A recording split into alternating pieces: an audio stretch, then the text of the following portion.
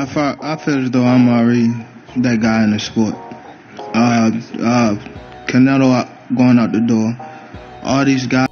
Yerbonta Davis asegura que Canelo Álvarez va de salida. Y es que según Yerbonta Davis, la nueva cara del boxeo es él y que Canelo Álvarez ya va de salida. A falta de más de un mes para que Yerbonta Davis se enfrente a Ryan García en el T-Mobile Arena de Las Vegas, Nevada, en la categoría de los pesos welter, el campeón de los pesos ligeros se autoproclamó como la cara del boxeo sobre el mexicano Canelo Álvarez. Creo que soy el mejor boxeador en este momento, dijo Davis en una conferencia de prensa.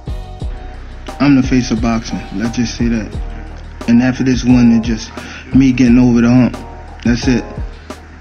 Canelo va de salida, soy la nueva cara del boxeo. Después de esta pelea con Ryan García lo verán. Los datos que respaldan a Yerbonta Davis son su alto porcentaje de knockout, ya que de sus 28 triunfos, 26 han sido por la vía rápida. Entre sus rivales más destacados están el mexicano Isaac Pitbull Cruz y el cubano Yuriorkis Gamboa. Pero quiero saber qué opinan. ¿Creen que Yerbonta Davis es la cara del boxeo y que Canelo Álvarez sí va de salida? Dale like, suscríbete y deja tu comentario.